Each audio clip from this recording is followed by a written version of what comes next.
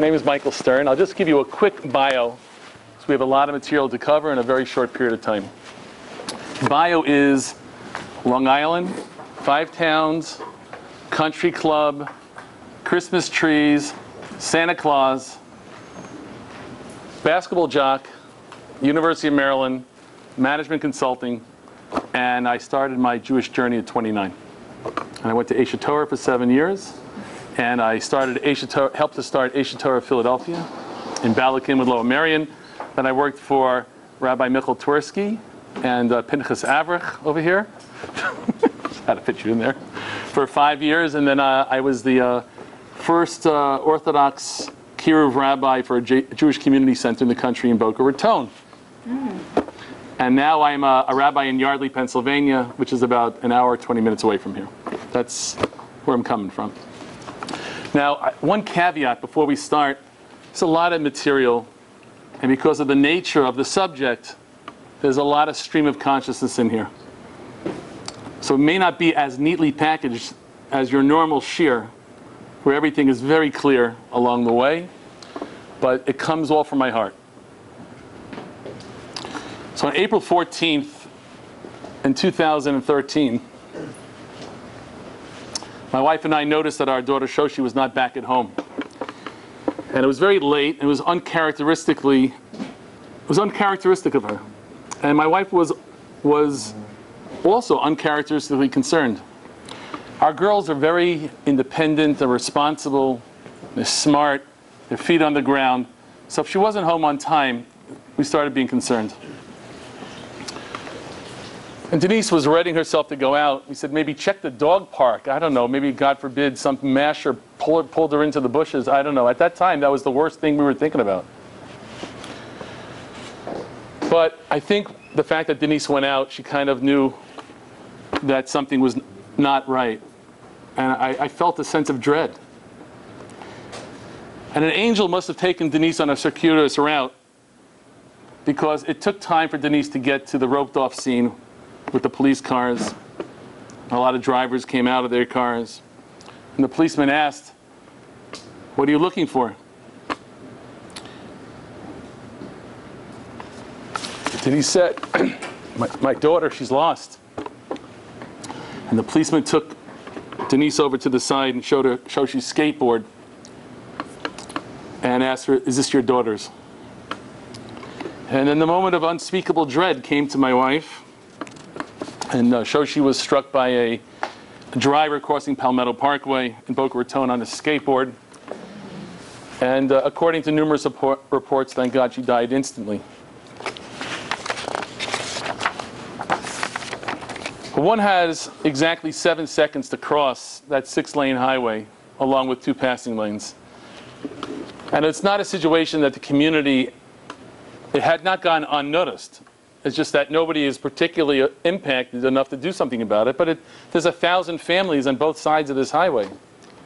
And even up until today, they haven't done anything yet. And it's just like a, it's another accident waiting to happen, God forbid.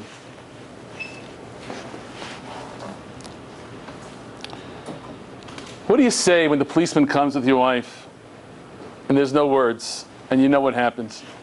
You think, what are you going to say to your wife? What are you going to say? What are you going to say to your children? What are you going to say to yourself? We're completely lost, lost. And life as we had known it was gone forever.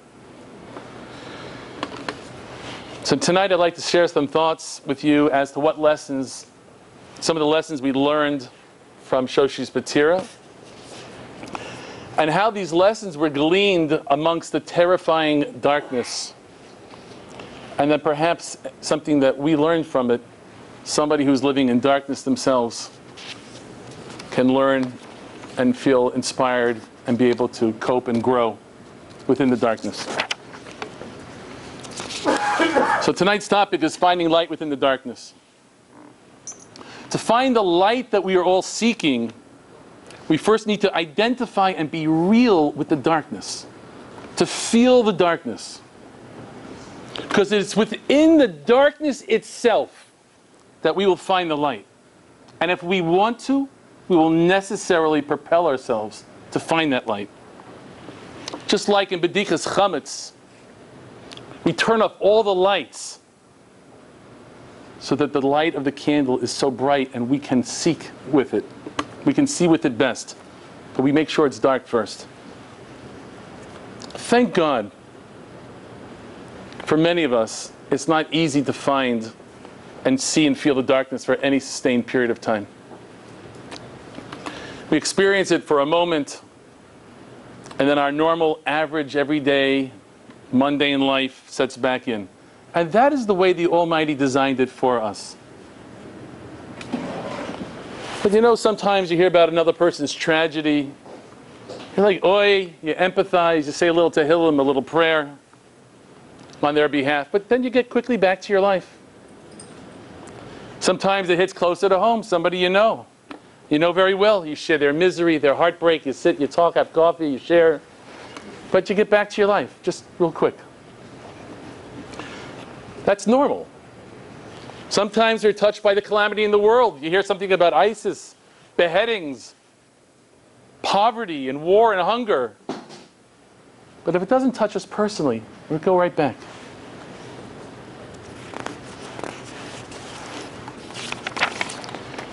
And thank God, Hashem doesn't seem to really make us or expect us to live with the reality of reality for any sustained period of time. Normal life, I would say, I call it a mundane curtain. It's a mundane curtain that we live at. We often don't see behind unless there's a transcendental event of some kind. It could be one of joy, incredible beauty, incredible awe, perfection. But on the other side, it could be tragedy and challenge. But that's on the side of the transcendental. That's going behind the curtain, beyond the curtain. And when we touch that transcendental, it's not very long. We're back on the other side of our normal, mundane life. And if we did live in the reality all the time, to see all the pain, the true pain and misery that exists beyond the curtain, we lived with that, we'd be paralyzed. In Torah Judaism, it's called true yira. If you had true seeing what life or reality was all about, we couldn't take a step. We couldn't walk in the world. We'd be paralyzed from the fear. We'd be overwhelmed by the pain of this world. Then there are some people here, including myself, who have had personal challenges or a tragedy that have had our mundane lives altered forever. And every second of how we think and we talk and we experience the world, there is no normal anymore the way it was normal before. And for that kind of person, it's a little easier to feel a little real, to be real with the darkness.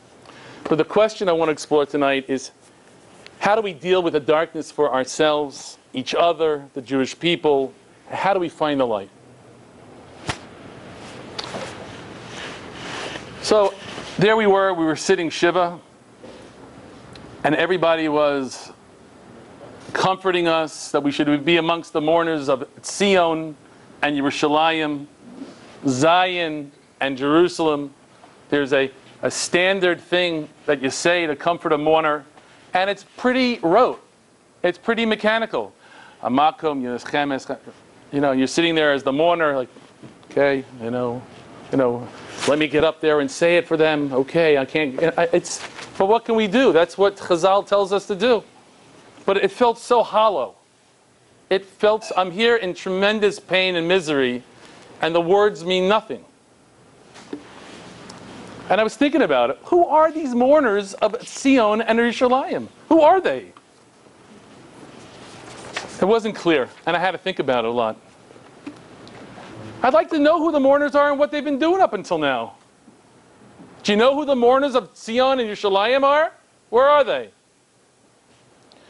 So I started thinking about the last 25 years of my Judaism journey. I was like, yeah, of course.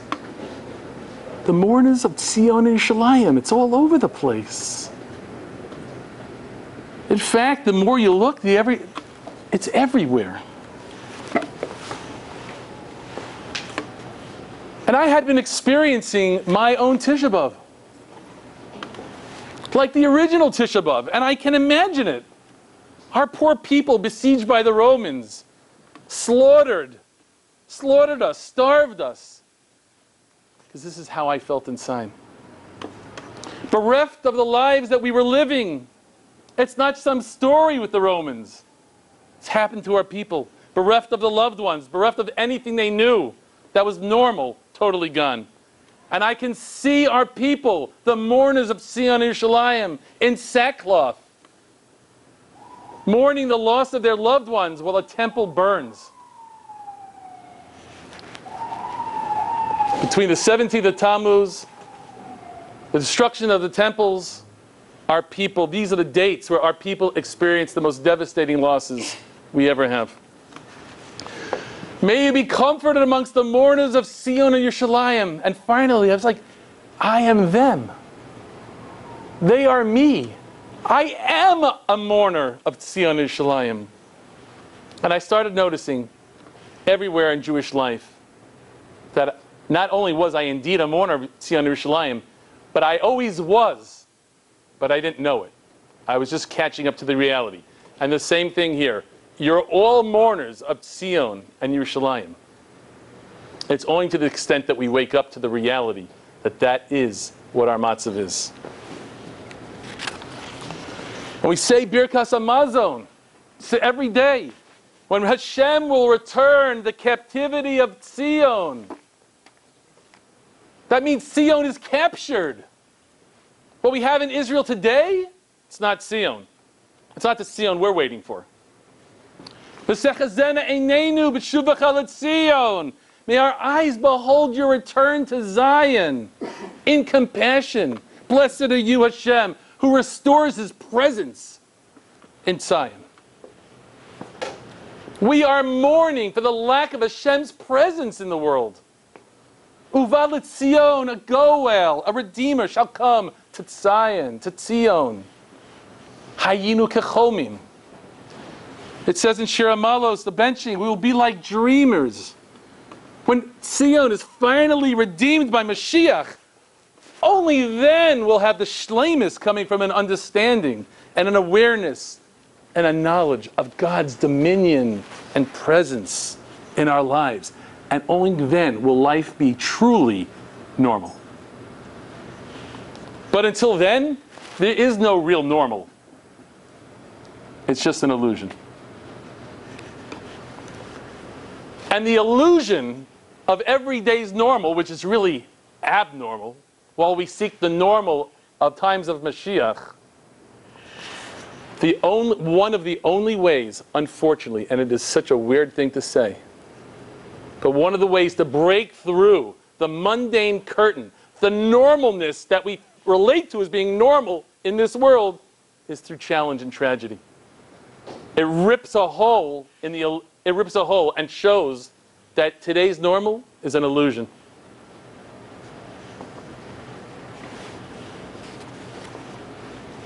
And therefore, challenges and tragedy have the function of waking us up to see life for what it really is. My friends, we are sleeping. I don't mean to include you in my, my own musser. Mike Stern, you are sleeping but only when Zion is recaptured. We will realize that we've gotten used to living a life of complacency, a life of mediocrity, a life of a lack of inspired growth, a compromised reality.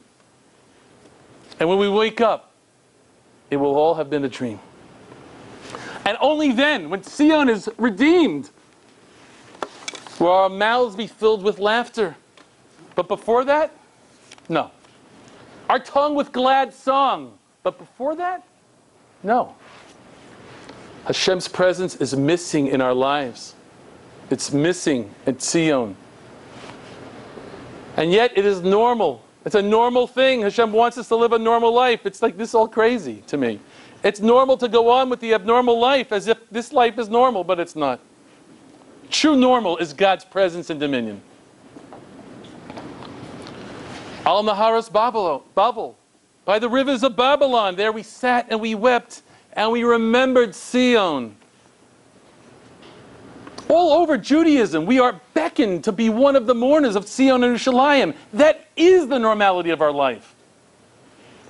We're taught when a man covers his house, his new house, with plaster, he's got to leave a small little place uncovered, unfinished.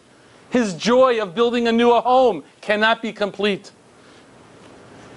If a man prepares all that he wants to with a feast, he should leave something out. If a woman is adorning her woman, if a woman is adorning herself, she must leave out something small. We place ashes on the, on the forehead of a chassan. I think most of all, what speaks to this is at, our, at the wedding. At our wedding, at the time of our greatest personal joy, we step on a glass to remember the destruction of the Beis Hamikdash. At the time of our greatest personal joy. Denise and I, my wife, we had our, we had our chasana at Moshav Ora, outside of the confines of Yerushalayim proper so we could have live music. But in the site of the Makam Migdash, most, a lot of post scheme that we know, just a drum, just a drummer. Because joy cannot be complete in this world. There's something more that we are working for.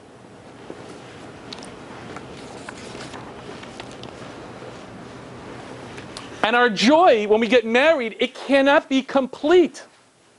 Because the presence, God's presence is not here. Other people are in pain. We even remember that under the chuppah. We cannot forget how to make this, the distinction between the life that we seek, one of peace and love and unity and truth and goodness and righteousness and perfection. And the mundane illusion that we live in. I feel that my wife and I, we've caught up to the true reality that Hashem wants us to understand and know that we are amongst the mourners of Tzion and Yerushalayim. If I forget you, Yerushalayim, let my right hand forget its skill. Let my tongue adhere to its palate. If I fail to elevate Yerushalayim above my greatest joy. It is clear that the rabbis intended for the Jewish people to never live a life the same as it was before the destruction. Never to feel unbridled joy, never to feel completely comfortable when others are suffering and God's presence is not in the world. And I'm thinking about this. What an expectation. Like, this is heavy. Like, this is God's expectation for us that we should live as a mourner of Tzion Yerushalayim. To always have an aspect of yourself to be real and experience darkness and anguish and confusion and a lack of clarity. To live in this world when our holy temple is destroyed the knowledge of God cloudy, inspiration is stifled, and we can't adequately serve God. And this is God's expectation? Like, wow.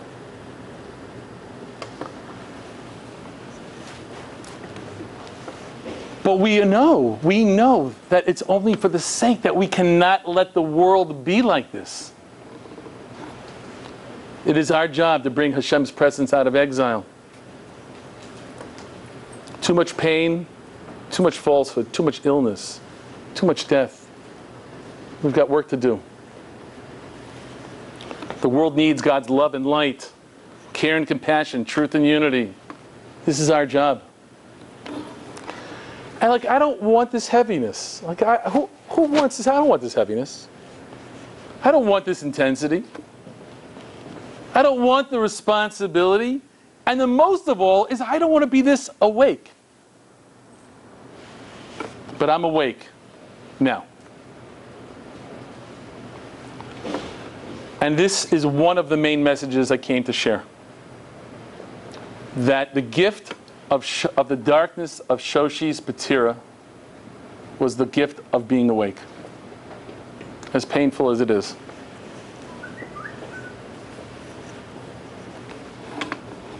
And I call it living not at the mundane curtain, but I call it living beyond the curtain. But this mirrors what the Torah says. King Shlomo says it's better to go to a house of mourning than it is to go to a simcha. My first reaction is, really? I've been to both. But what is he, what is he saying? He's saying there's more reality in the house of mourning. That doesn't mean, mean you're, you're, you're living in mourning. It means the mourning should wake you up. I mean, what are we doing? What are we living for anyway? Errands?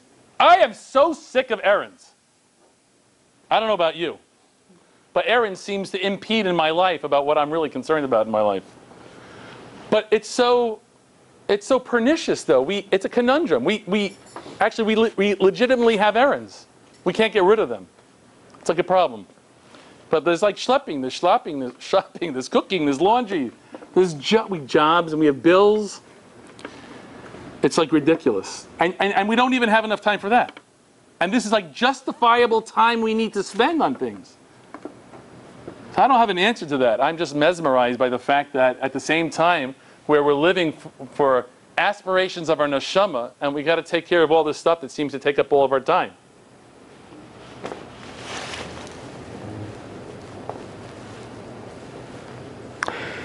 But every once and so often, we get a wake up call from Hashem. He wakes us up to our lives. Maybe it's an important exam, you have an anniversary coming up, a job interview, a child accomplishes something special, you get a gift of jewelry, and you're in a different dimension already. You're beyond the curtain a little bit. But then the curtain just always turns back. And there's this whole other level of heightened living. They, God forbid, found a spot, God forbid, on the liver. Your mother's been coughing for two months, you don't know why. You have a kid in the ICU, and you're really awake now.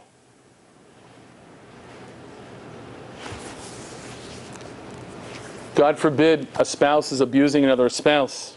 You undergo a surgery, person gets divorced. The kids don't seem to be following in your path. God's got your attention now. And as painful as it is, and life is painful, but the greatest gift you can get is being awake. Awake to the preciousness of life. Awake to the preciousness of our moments.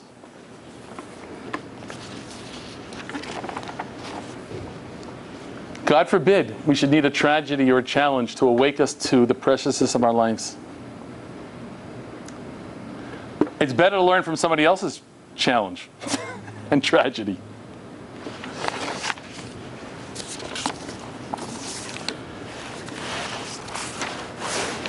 Really felt, and somewhat do feel still, not as much, but like I've been living life behind the curtain.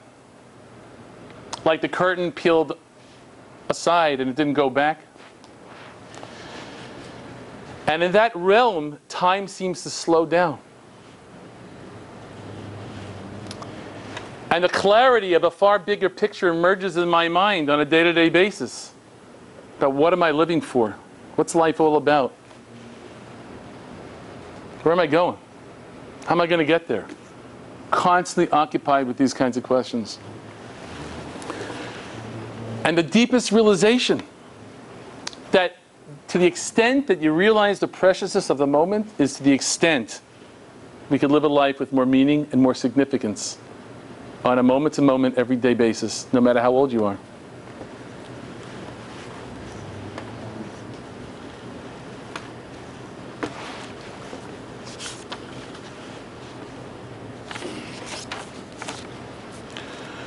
Couple of things really transformed in our home after Shoshi's passing.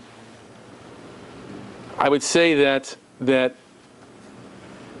to some extent, a lot of members in our family we're able to truly see a little better, truly experience a little better, truly hear a little bit better, and give, give a little love. This awakeness, colors became more vivid. My kids laugh more funny, and my wife's prettier than ever, and my friends and family more endearing. And I feel one of the things I gained from it, it was being able to focus more on my kids' good things, not be as critical as I might have been before. Because when you're awake, your priorities shift. When you're awake, you have clarity. When you're awake, you have ultimate goals.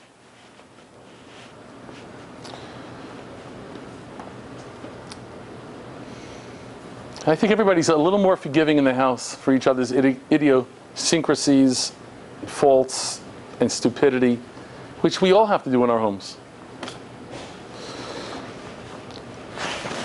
And I want to share probably one of the most important aspects of this talk that I want to share. It's about Shoshi, my daughter.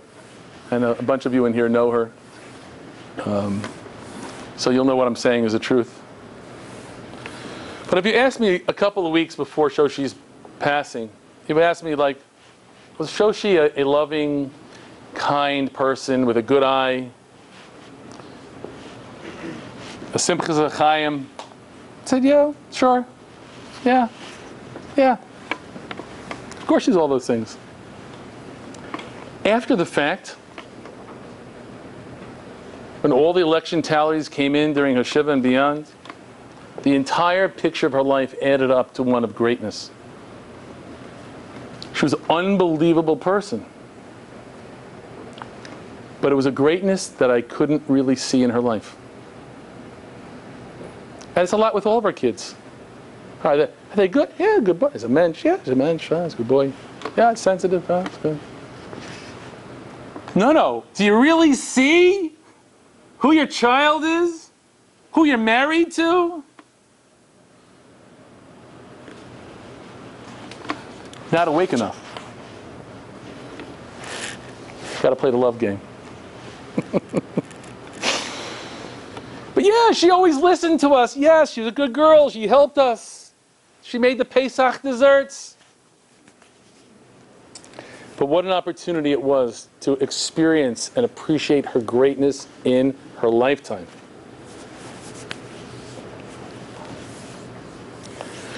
Being behind the curtain also gives you an unbelievable opportunity to see God as you never did before. I heard the following from the CEO of Aish HaTorah International. He told me something that Reb Noach Weinberg, who was an Rosh Yeshiva, quote, he was quoted as saying, after his father had passed away, Reb Noach said, follow the thing, he said, only a mourner can say Kaddish in a proper way. See, Kaddish is entirely a praise of Hashem and not about the deceased. The depth of that is, is that when you're in mourning, you see things for what they are. You, then you can truly praise Hashem. When you become a mourner for Tzion and Yerushalayim, or whether it's personal, you're able to see God's hand in everything in your life. And of course, the heightened awareness can work both ways. Fear can paral- paralyze you, but being awake can energize you to no end. If I was living a life to change the world, I'm more, more motivated now more than ever. If I was driven by a desire to be good and have meaning in my life, it's more now. And that is what is called living. That's living. Anything short of that, at the end of our lives, we're going to be kicking ourselves for not utilizing the opportunities for greatness that came across our path.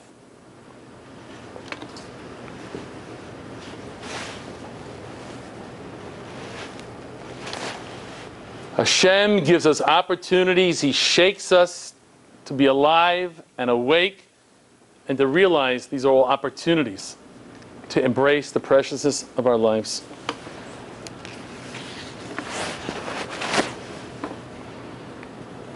So now we have a lot of opportunities coming up. The 17th of Tammuz, the three weeks, Tisha B'Av. We have to be thinking here, what can we do here? Let's try to, I'm going to try to bring this down more to a more practical time period in our, in our Jewish calendar. Well, this is the time in the three weeks.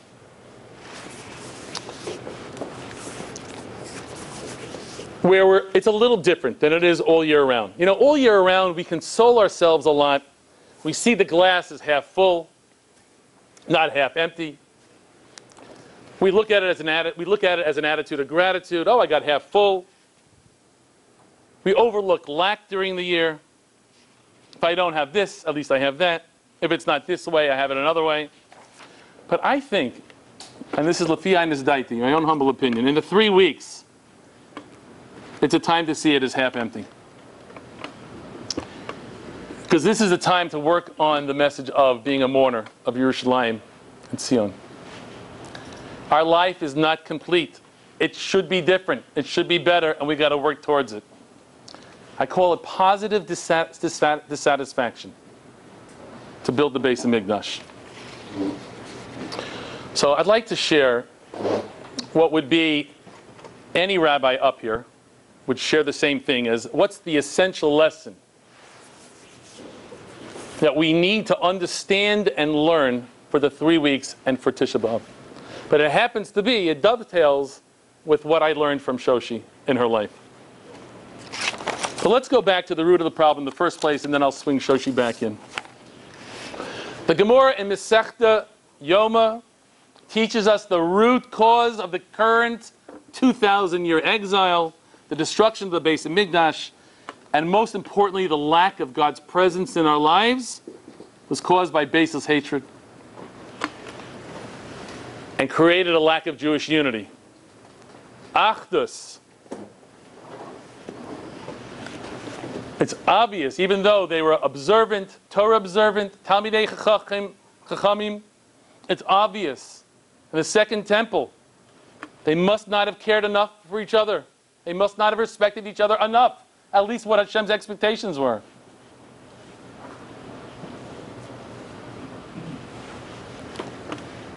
We must not have realized that our national mission and our national responsibility of being a light to all nations hinges on the fact of how we treated each other. We must not have realized that baseless hatred and lack of Jewish unity undermines our whole entire mission. Because being a light unto the nations starts with being a light unto ourselves and a light to each other. And when we understand that love is all there is, and we are united together as a Jewish people, that is what Hashem wants. That's what He's waiting for. Chafetz Chaim teaches us. Chafetz Chaim teaches us that which exiled us, the baseless hatred, the lack of Jewish unity, that which exiled us, if not corrected, is preventing us from bringing Mashiach and God's presence. It's not those people in those days that are keeping Mashiach back. It's us. And this understanding was totally illuminated to me by Shoshi's life. And she inspired me tremendously in these avenues. It is not a coincidence that my daughter Shoshi died during Sefira. And as you know, Sefira starts the second day of Pesach. We count 50 days into Shavuos. And these days are days of mourning. No haircuts, no marriages, no live music. And we remember the 24,000 students of Rebbe Akiva. And the Gemara tells us the calamity they suffered was Shalo Nahugu, Nahugu kavod zeh lazeh. They simply didn't show each other enough respect as much as it was respected, expected of them. They certainly didn't, they just didn't value each other as much as they could. In a unique and special way of the neshama of every person. But I think Shoshi's Petira during this time pointed us in the direction of how we appreciate and how we respect and how we love one another. So let me tell you a little bit about Shoshi and the lessons of unity and the lessons of love and the lessons of how we treat each other. One of my rabbis in Boca Raton, Rabbi Rabovsky, his daughter is here, coincidentally. It's nice to hear nice words about your father. But Rabbi Rabovsky eloquently eulogized Shoshi and brought up the most simple but such a deep thing. She said, I drove carpool for Shoshi. And it's a long trip. It's 45 minutes there to Beis Yaakov in Boca, 45 minutes back. To quote Mrs. Rabovsky, the Rebbitzin, Rebbitzin said, I love this quote. She said, You never know anybody until you do carpool with them. it's a great line. It's true. But Rabbi Rabovsky said, whenever there was somebody unexpected to come into the car, Shoshi would give up her seat. And Rabbi Rabovsky said, I've been driving carpool for a long time. It's a rare trait, let alone for an adult, but for a kid, to not be so makpid on their seat. And that's just the beginning of being a person who doesn't put themselves in the center all the time and can feel so secure about themselves to freely give. If you're secure about yourself, of who you are, you're not thinking about my seat. It's your pleasure. I coined a term at, at her eulogy that shows she really got it. She got the message. The, the, every parent has something they want their child to get and understand, and Shoshi got it already by 12 years old. But what did she get? Shoshi got the thought or the idea, the, the practice of validating, affirming, respecting, and treasuring every person she met.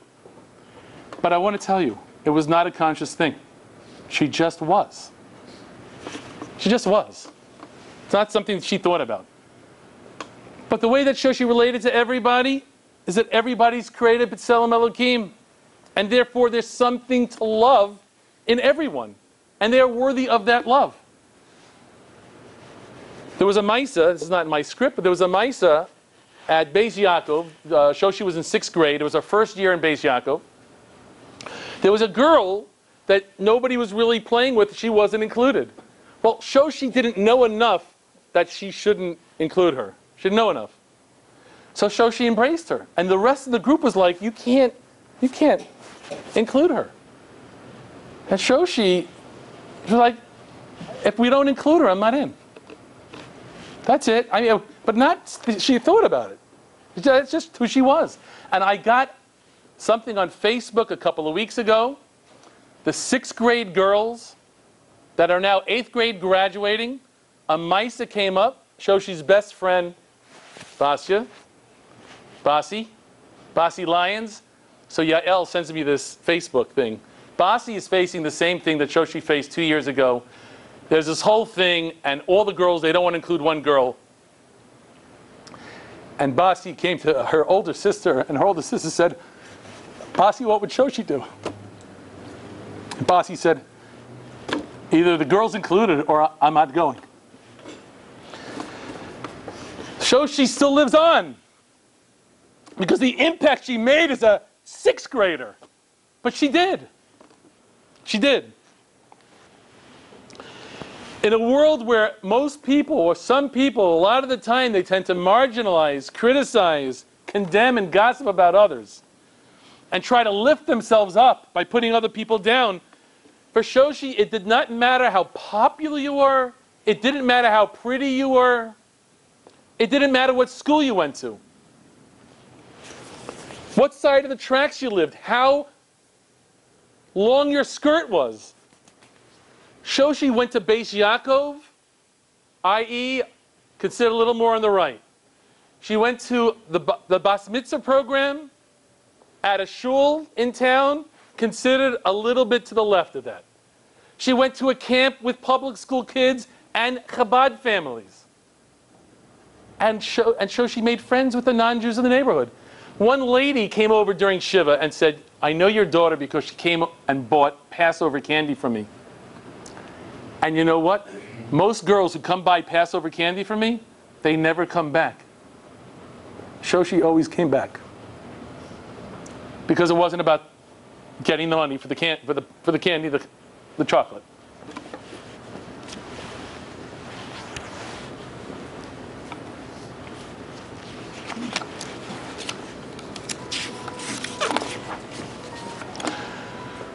The thing I could be most proud about is who came, who came to pay their respects for the Shiva. This is my, I'm, my last name is Stern. This is, this is the Stern family's scorecard of what's important to the Stern family when I tell you who came to Shiva. Hmm. Bob the bug guy. The African American UPS fellow. The gardener that's not even ours in the neighborhood. The AC guy. Whoever came across our house, you get caught there. And Shoshi and Devori, my other daughter, are like the front line of that. You can't walk by our house without drink or eat. You just can't do it.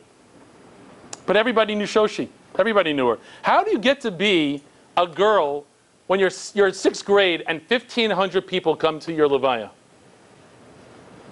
They shut down I 95 from Boca to North Miami Beach. The last time they did that for was Vice President Joe Biden. A thousand people came to Shiva. And let me tell you, and this is the most, if you didn't hear any, anybody didn't hear anything, this is the thing to hear. This right now. This is the thing to hear. Shoshi was not a Borough Park girl.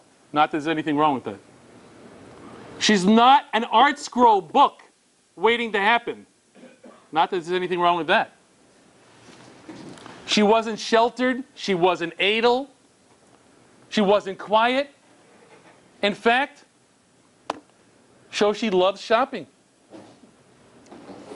Shoshi loved Instagram.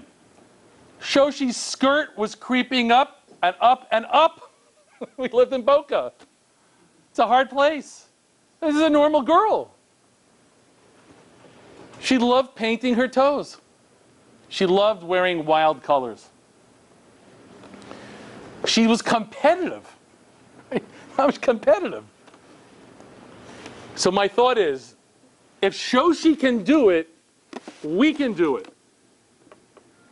If Shoshi can do it, we can do it. That's as simple as that. Without realizing it, Shoshi knew what life was all about. How to treat each other. And that is our bottom line. How we treat each other. And our Jewish unity. So I just want to wrap it up with how can we maybe take this lesson home in a practical way tonight at Maariv. And here's my suggestion. Let's be real when we daven Shemona Esrei. And I'm really talking to myself. Because unless you're preparing for this, you're not really real with it either. I kind of got back from the other side of the curtain. But when we daven three times a day, we can go behind the curtain just a little bit.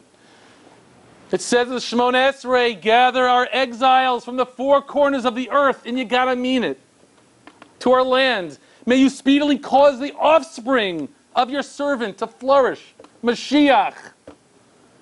We hope for your salvation all day long. And to Yerushalayim, your city. May you return with compassion. May you rest within it as you have spoken. May you please rebuild soon as an eternal structure.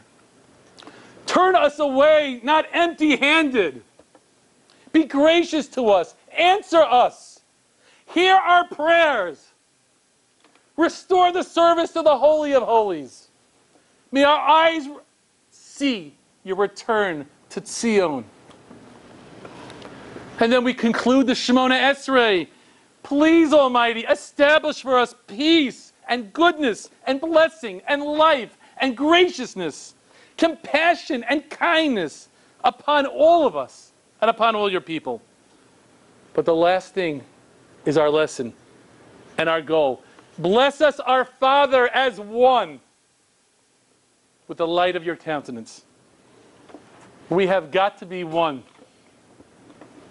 And then, God willing, Hashem will bless us in every season, in every hour, with peace. Thank you so much for your time and attention, and um, I hope that I did my daughter uh, the dignity that's due to her, and I hope I was able to share some thoughts and ideas that can help us live somewhat beyond the curtain and at the curtain. You know, Yaakov's la- Ya- Yaakov Avinu's ladder of the Sulam, the dream. The bottom of the ladder is planted in mundane life on the earth. Top of the ladder, aspirations for all of our neshama's aspirations. May we soon see Mashiach in our time. Amen.